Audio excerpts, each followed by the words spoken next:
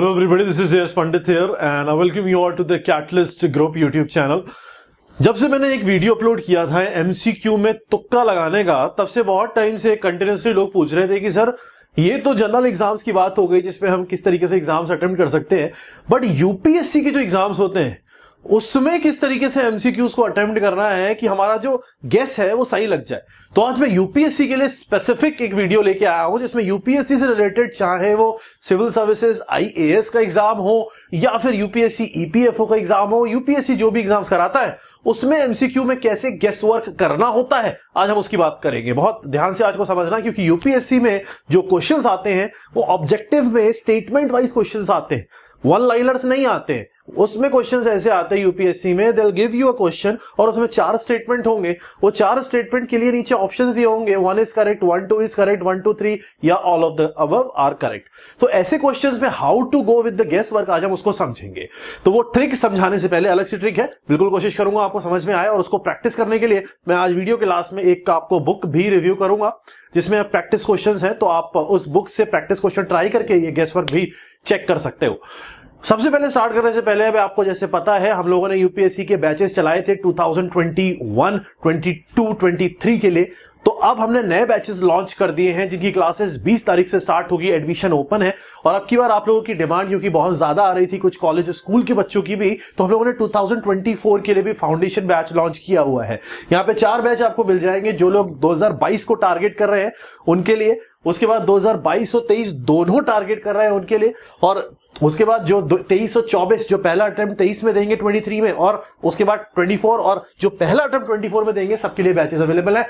Fees India में सबसे कम है, जो आप एक्सपेक्ट कैटलिस्ट से ज़रूर कर सकते हो, बाकी किसी से कर सकते हो, नहीं कर सकते आई डोंट नो और ईएमआई भी अवेलेबल है। तो बहुत कम फ़ीस है, अठारह हज़ार बाईस, चौबीस, पच्चीस सत्ताईस ऐसे रखी हुई है हमने। तो आप ज्वाइन कर सकते हो। ज्वाइन करने का तरीका आपको वेबसाइट पे जाने का जो तरीका है, वो आपको पिंट कमेंट में मिल जाएगा।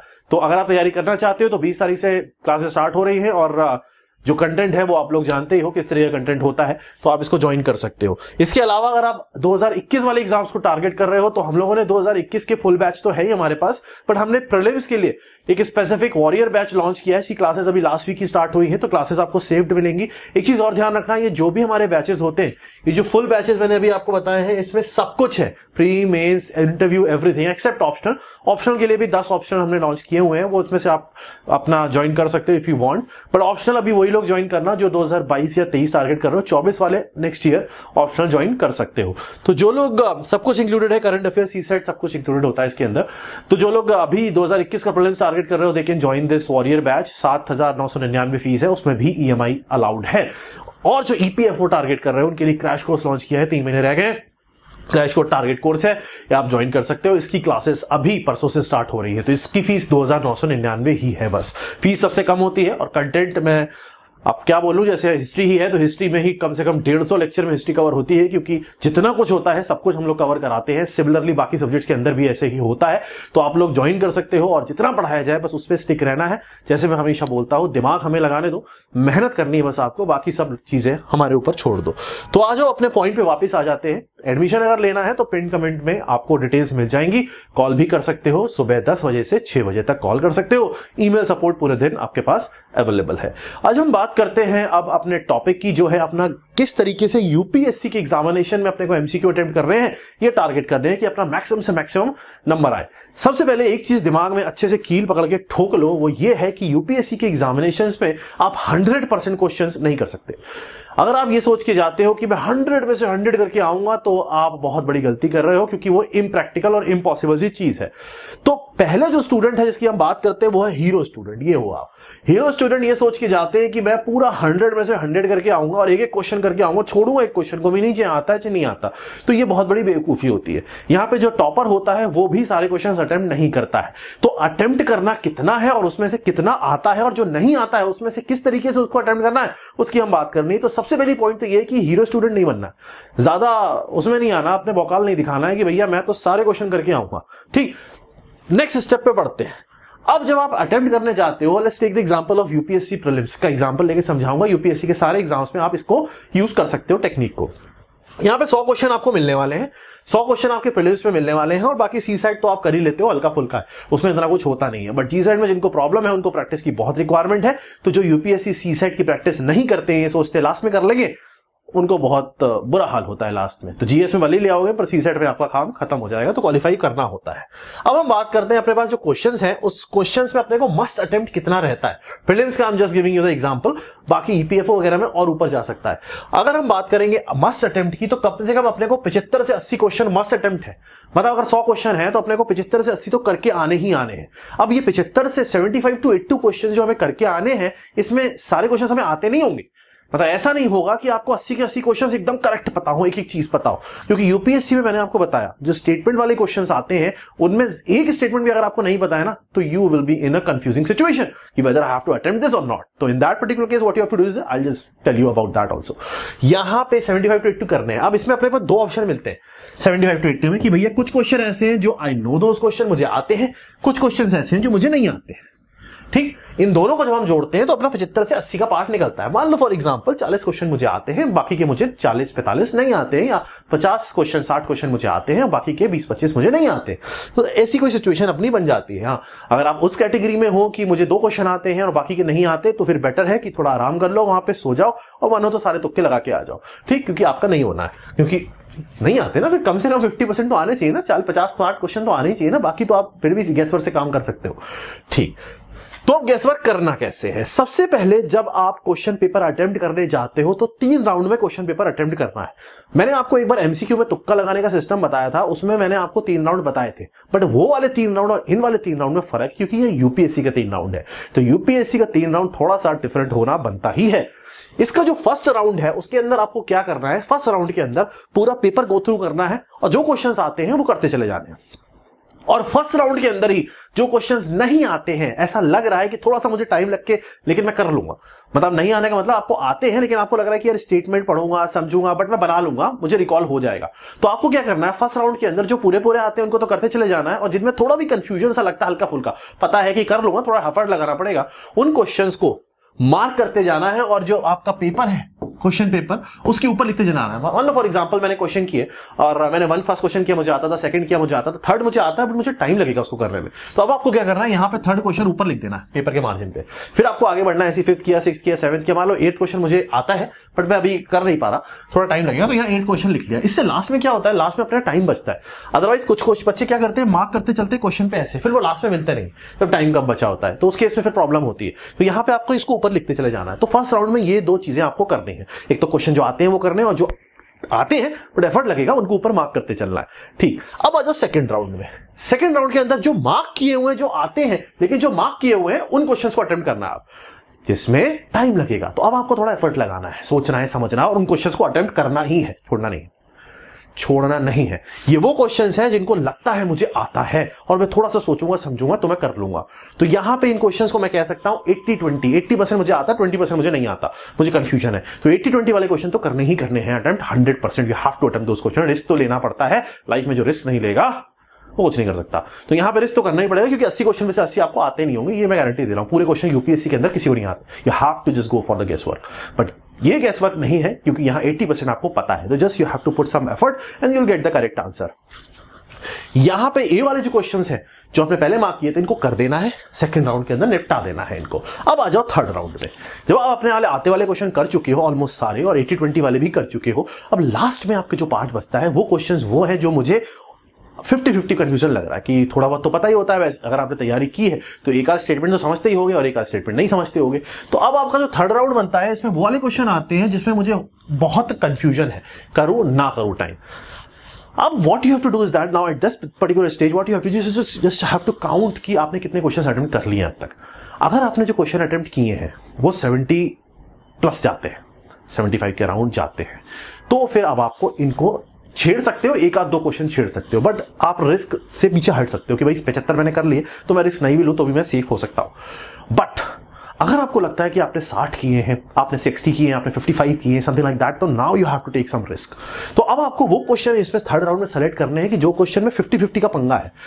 चार स्टेटमेंट लिखे हैं, दो पता है, दो में कंफ्यूजन है तो ना you have to take the risk अब आपको रिस्क लेना ही पड़ेगा। रिस्क लेने के लिए यूपीएससी के अंदर none of the above all of the above या फिर जो हमेशा मैंने बताया B option can be opted B option आप चूज़ कर सकते हो, मैंने पहले भी समझाया है। यूपीएससी के अंदर you can go with B option की भाई, ये ऊपर वाले तीन करेक्ट हैं या ऊपर वाले दो करेक्ट हैं। ज़्यादातर देखा गया है कि यूपीएससी के अंदर या तो एक ही स्टेटमेंट करेक्ट होता है या सारे करेक्ट होते हैं। But again I am saying कि दिस इज़ इट डिपेंड्स कि उस टाइम पे क्वेश्चन क्या है। और आपको उस हिसाब से थोड़ा सा उसमें दिमाग लगाना पड़ेगा। But the attempt should be like that कि अगर आप पिछहत्तर के आसपास जा रहे हो तो मत करना बट अगर आप नहीं पहुँच पा रहे हो तो आपको करना ही है, क्योंकि साठ, पैंसठ में वैसे भी आपको कुछ नहीं होने वाला।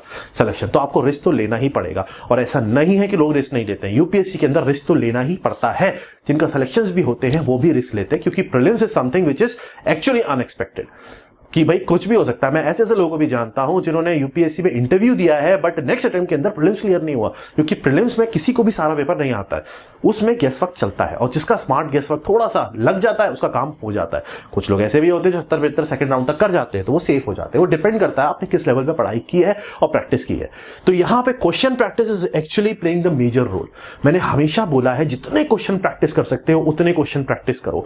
एमसीक्यूज में जो ट्रिक मैंने आपको बताई है, जब भी आप क्वेश्चन प्रैक्टिस करते हो, जो क्वेश्चन में अटकते हो पेपर जो है ना मॉक पेपर्स वो भी प्रैक्टिस करो। और जब भी किसी पेपर में या क्वेश्चन में अटको तो ये ट्रिक अप्लाई करके देखो। और फिर चेक करो पीछे से आंसर कितना मैच कर रहा है। यू विल फाइंड की ज़्यादातर क्वेश्चंस में आपके आंसर्स मैच करेंगे ही करेंगे। तो मेरी बात समझने की कोशिश कर रहे हो जो मैं बता रहा हूँ। यूपीएससी के अंदर एमसीक्यू में थोड़ा ट्रिक करना पड़ता है और वो ट्रिक आप इसको अप्लाई करोगे तो you will find the safer way कि काम हो सकता है। But still again I am lastly मैं बोल रहा हूँ आपको प्रैक्टिस तो करना पड़ता है। तो प्रैक्टिस बहुत ज़्यादा है।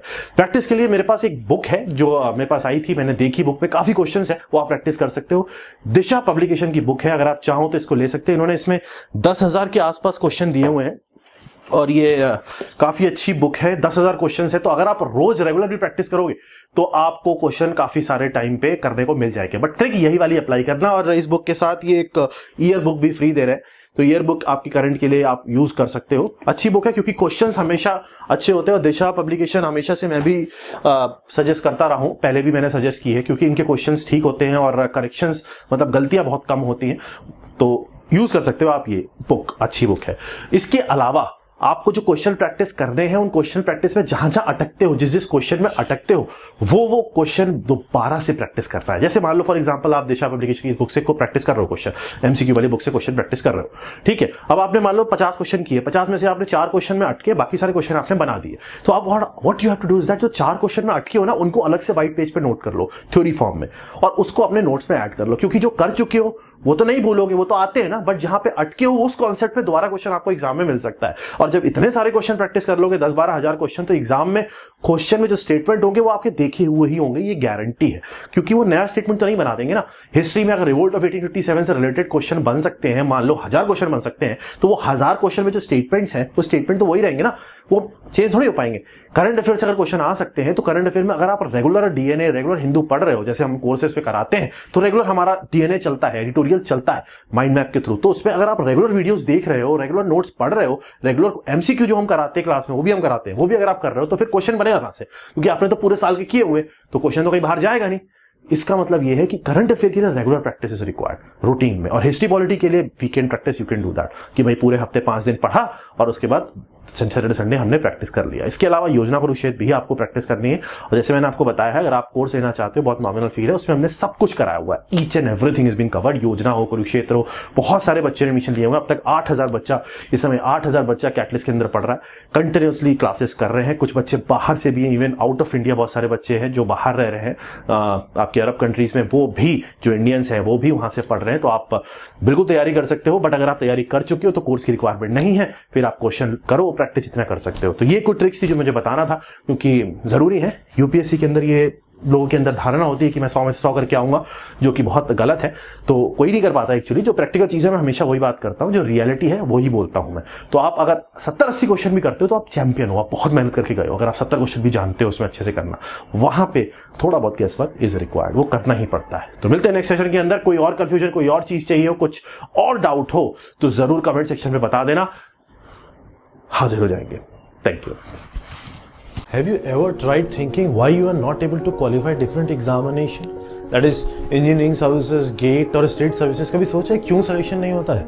Let me tell you let me give you the basic introduction कि होता क्यों नहीं है। Let me explain you the things the reason is that because these examination need a perfect analysis analysis means you should know every thing to hear in Catalyst group in my classes where I'll give you the analysis of the exam, I'll give you the theory lectures, I'll give you the question lectures what will do will complete each and every question in the class previous year से उठा के expected questions तक सब कुछ हम class में कर लेंगे।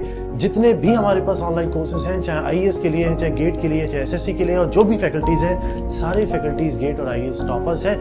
अगर आप कैटलिस्ट ग्रुप ज्वाइन करते हो तो लेट मी टेल यू कि आपको क्या क्या फ़ायदे मिलेंगे। सीधा पहली चीज़ आपको मिलेगी कि आपको एक्सपर्ट गाइडेंस मिलेगा, जितना भी फैकल्टीज का। लाइव सेशंस मिलेंगे जहाँ पे आप फैकल्टी से अपने डाउट क्लियर कर सकते हो फ़ोन पे व्हाट्सएप पे, आमने सामने बैठ के। सब फैकल्टीज के लिए आपके पास अपॉइंटमेंट होगा, आप उनसे डायरेक्ट डिस्कशन कर सकते हो। साथ में हम आपको नोट्स देंगे जो हमारे स्पेशल माइंड मैप्स की फॉर्म में नोट्स होते हैं, जिसमें आपको याद करना ईजी रहेगा। कुछ मोटिवेशनल सेशंस होंगे प्रोग्रेस एनालिसिस होंगी नोट्स होंगे, हम अपना स्टडी मटेरियल आपको प्रोवाइड करेंगे। बुक्स आपको प्रोवाइड की जाएँगी, आपको A to Z each and everything provide किया जाएगा। हर कोर्स में हमारे पास मिनिमम से मिनिमम 1000 लेकर 2000 लेक्चर्स हैं depending upon the course which you are taking अलग अलग हमारे पास कोर्सेज हैं डिफरेंट कोर्सेज हैं जो आप कंबाइन करके भी ले सकते हो। तो everything we have for you तो I welcome you all to the Catalyst group visit the link below call us for admissions our new version 1.1 is already launched and admissions are open under all our courses thank you